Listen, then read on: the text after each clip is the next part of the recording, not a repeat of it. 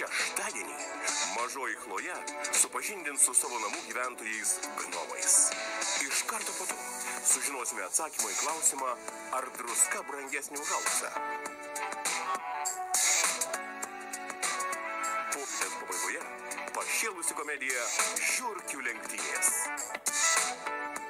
Geriausi savaitgalio filmai per žiūrimiausią televiziją TV3.